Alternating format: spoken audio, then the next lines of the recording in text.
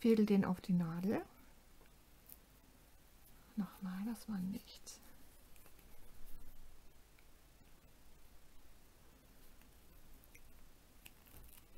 So. Und dann nähe ich zusammen. Und zwar, ich ziehe die äh, Maschen zusammen. Ich steche immer auf der rechten Seite ein. Also wir nähen jetzt zusammen.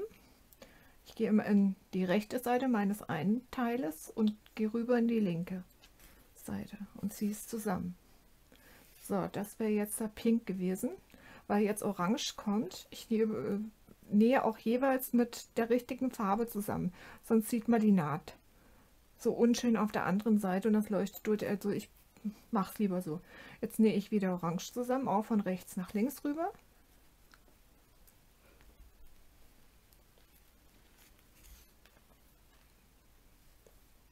So.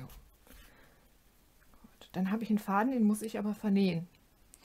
Dann gehe ich in meinen Strickteil ins Orange gehe hoch und runter, wieder mal ein Stückchen zurück, hoch, runter, hoch, runter, ziehe es ein bisschen rüber, aber nicht zu, zu weit nach unten, weil sonst würde man den Faden auf der anderen Seite sehen.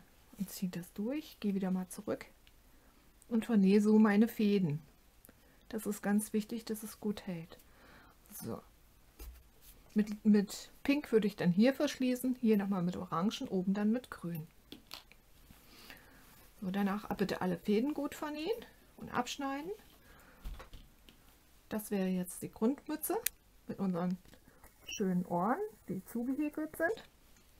So, und jetzt möchte ich euch noch zeigen, wie wir das erste Ohr machen.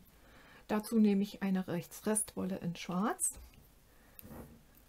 und mache fünf Luftmaschen. Ich verdrehe einfach nur hier unten. Andere haben da mm, in eher in zum Fangen der Masche, aber das geht ganz einfach. Habe meine Öse, Hals fest, ziehe einmal durch und habe meine erste Luftmasche. Dazu brauchen wir jetzt fünf Stück. Eins, zwei, drei, vier, fünf. Und jetzt gehe ich in die allererste Masche hinein, ziehe mir eine Masche raus und die vordere ziehe ich durch die hintere und schließe so das runde. So, jetzt mache ich zwei Luftmaschen. Eins, zwei. So, jetzt haben wir hier fünf Luftmaschen und wir machen jetzt zehn feste Maschen in den Ring rein. Eins, zwei, drei, vier, fünf, sechs, sieben, acht, acht, neun, 10. Wichtig, da sind die zwei Luftmaschen, die wir gefangen haben.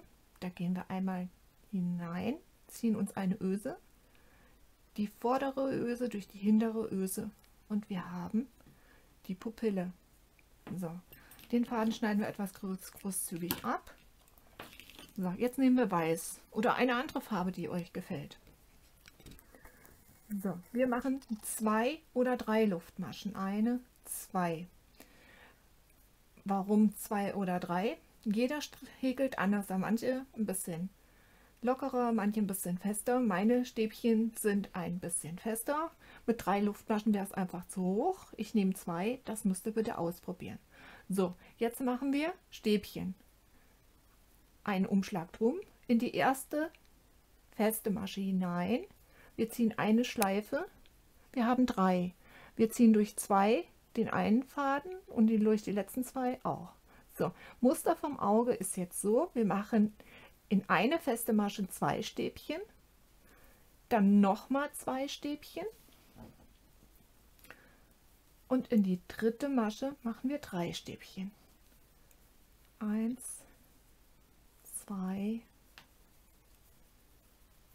drei. So, jetzt machen wir wieder zwei Stäbchen. Eins, zwei, wieder zwei. Also geht immer zwei, zwei, drei, zwei, zwei, drei. So, jetzt da drei. Eins, zwei, 2, jetzt wieder 2, 1, 2. Na, rausgerutscht.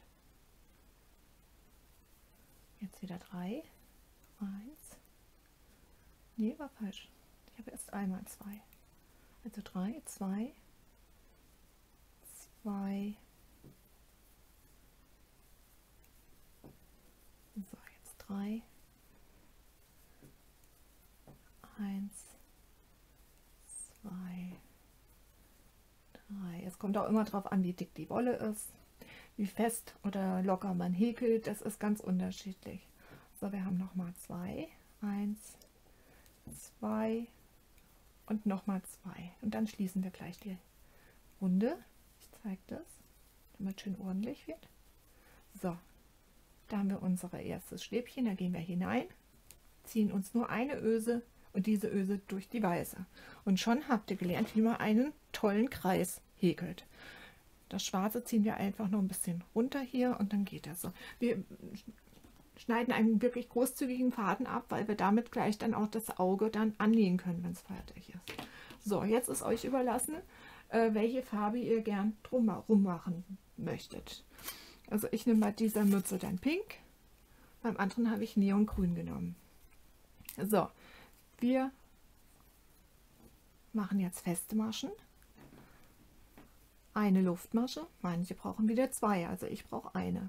So, und dann häkeln wir 1, 2, 3 und jetzt 2. 1 in, in eine Öse 2. Jetzt kommt wieder eine nur, eine, eine und dann wieder zwei, damit wir die richtige Weite für unser Auge haben. So, wieder eins, zwei, drei und jetzt wieder zwei in eine Öse vom Stäbchen. Wieder eins, zwei, drei und zwei in ein Stäbchen. Gleich ist die Runde auch schon wieder fertig. Eins, zwei, drei. Jetzt wieder zwei, eins, zwei, eins, zwei, drei, eins, zwei, mal hier noch eins. So, und da noch eins.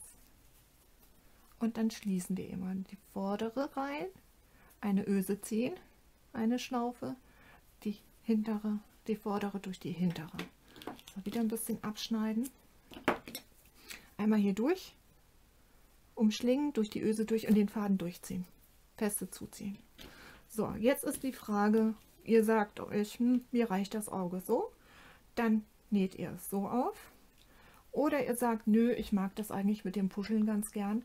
Dann zeige ich euch, wie das geht. Wir nehmen eine feste Masche, die Öse davon, nehmen unsere Franzelwolle, ziehen die durch und machen eine Luftmasche und ziehen es gut fest. So, dann machen wir fünf Luftmaschen. Eins, zwei, drei, vier, fünf und machen eine feste in die kommende feste Masche. Dann wieder 1, 2, 3, 4, 5 Luftmaschen und eine feste. Und das machen wir, bis das Auge rundherum fertig ist.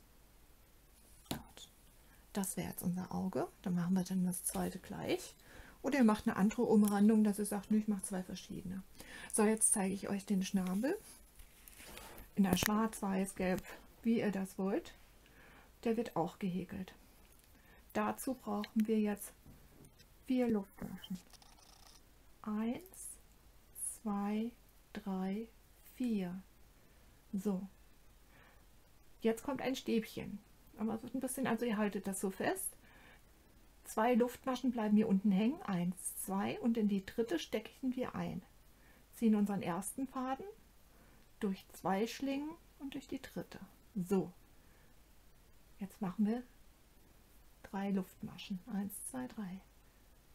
Drehen es herum. Das bleibt immer nach unten unseren Faden. und machen in diese Stäbchen vier Stäbchen. Eins, zwei, drei und noch ein viertes. So seht ihr, jetzt haben wir schon ein Dreieck. So, jetzt machen wir eins, zwei, drei Luftmaschen. Und jetzt machen wir ein Stäbchen, ein Stäbchen, zwei Stäbchen, eins, zwei, ein Stäbchen. Und noch ein Stäbchen.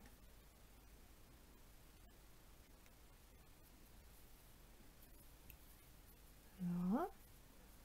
Und jetzt machen wir eine Luftmasche, eine feste Masche und ziehen ein bisschen.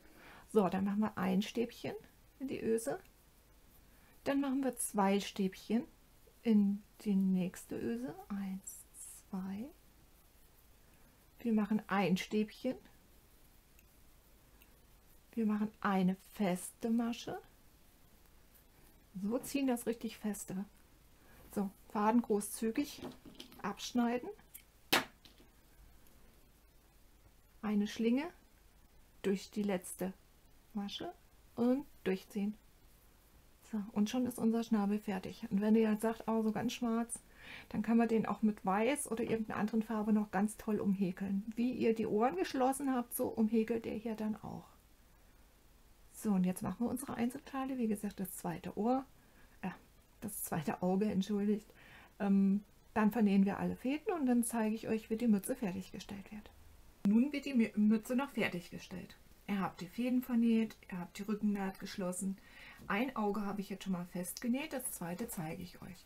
Und zwar nehmt ihr Stecknadeln und steckt euch erstmal die Augen fest, in welcher Höhe die, ihr die haben wollt. Dann habe ich hier den weißen Faden genommen, weil ich es nur mit dem weißen zusammennähe. Und zwar im weißen bleibe ich, mache meinen Stich nach unten und komme wieder nach oben durch. Die Hand innen rein, damit wir ja nicht die Mütze zusammennähen innen. So, und dann gehe ich wieder ein Stückchen zurück und komme vorne wieder raus. Und wieder ein Stückchen zurück und komme vorne raus. So, und das mache ich rundherum. Vielleicht fragt ihr euch, warum ich das nicht im Pinken festnähe. Weil ich finde es ganz schön, wenn die Augen sich ein bisschen nach oben wölben bei der Mütze. Und es ist ein bisschen mehr die Möglichkeit nach, der Kopf, nach dem Kopfumfang, dass es sich mehr bewegt. So, wenn wir dann einmal rundherum sind, vernähen wir den Faden locker. Das heißt, wir gehen an einer Stelle zwei, dreimal rein. Und dann ist es ganz gut, wenn wir nach innen gehen mit dem letzten, ziehen es hier durch und schneiden es dann da ab. So, jetzt wäre das Auge dran und das Auge.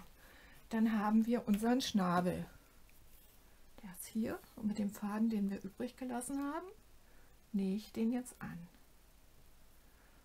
Noch meine Anmerkung, wenn ihr jetzt solch eine Mütze für einen erwachsenen Mann stricken wollt, dann müssen die Reihen noch ein bisschen erweitert werden.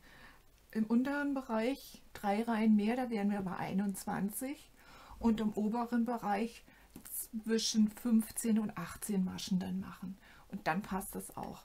Umfang hatte ich ja gesagt, gleich vier Maschen mehr nehmen. So, den Schnabel setzen wir genau zwischen die Augen. So. Genau zwischen die Augen. So. Und den nähen wir mit dem gleichen Stich an, den ich euch eben gezeigt habe. nach oben. So. Und dann wird das noch ein bisschen fixiert. Also ich nähe den Schnabel nur oben her an, damit er sich ein wenig im 3D bewegt, die Schnabelspitze. Also ich finde es schöner, wer sagt, nö, gefällt mir nicht, weil das kein Problem, einfach weiter annähen. Einmal rundherum. Was wichtig ist, also den oberen Bogen näht ihr fest, aber dann geht ihr bitte auch einmal hier gerade rüber.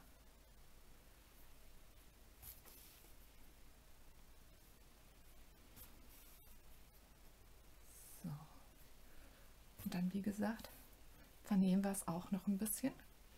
Das auf einer Stelle. Und ziehen es nach innen. Wenn ihr dann aber sagt, oh, die Augen bewegen sich hier ein bisschen zu viel, dann fixiere ich die Augen nur am oberen Schnabel noch etwas. Einfädeln.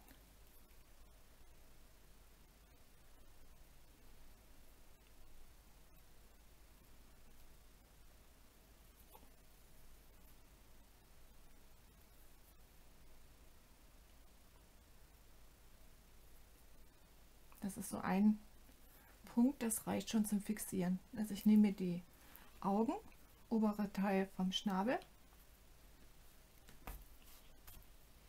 So, und fixiere mit ihm ein bisschen ins Schwarze hinein, pink nur ein bisschen. Und mit einem Schlingstich fest. So, dann gehe ich in mein nächstes, von unten nach oben und fixiere auch noch einmal. Das ist aber euch überlassen. Ich würde es dann mal ausprobieren. Ich würde es anziehen und würde es mir dann erstmal angucken. So. Bei dieser Mütze habe ich dann noch an die Ohren ein paar Puscheln gemacht. Das ist genau wie bei den Augen. Einfach sechs bis sieben Luftmaschen und dann fünf Schlingen gemacht.